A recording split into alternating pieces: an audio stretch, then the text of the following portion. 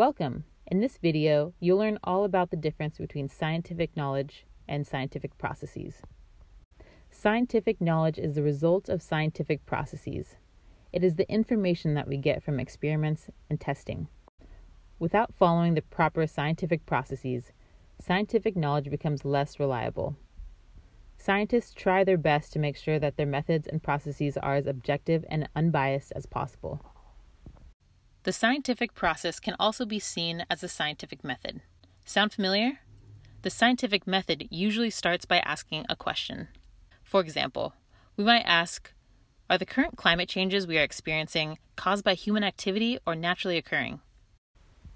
The second step is to research and see what scientific knowledge other scientists have discovered. It's okay to question their methods and attempt to create your own tests. In the third step, you'll want to create a hypothesis to test.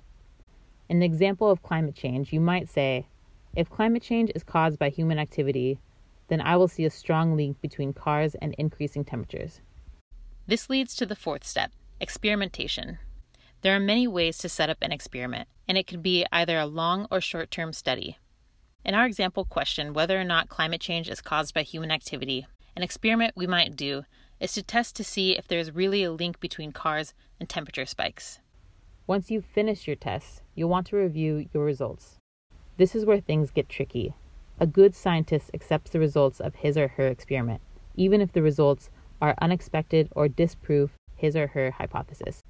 Finally, depending on the results, scientists will often modify their hypotheses or repeat the tests. Scientific knowledge can be discarded or strengthened as more and more experiments are carried out. In other words, conducting more experiments means more observations are recorded, and this can provide us with more detailed information about our question. In this way, scientific knowledge isn't right or wrong. It is something that can change with different scientific processes.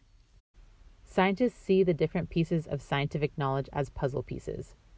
The goal is to see as much of the big picture as possible. Science processes are constantly improving with technology, this means that scientific knowledge must also grow with the processes. Thank you for watching this video on scientific processes versus scientific knowledge.